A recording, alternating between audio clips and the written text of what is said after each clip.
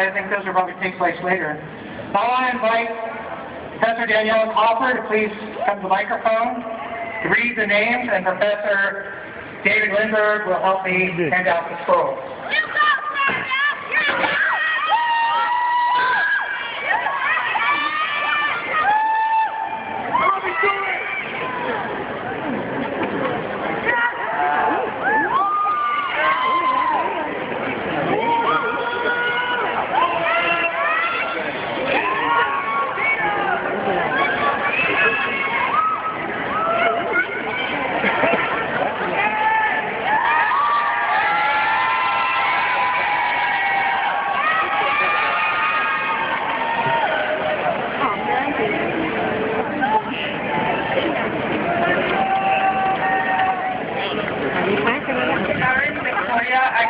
question.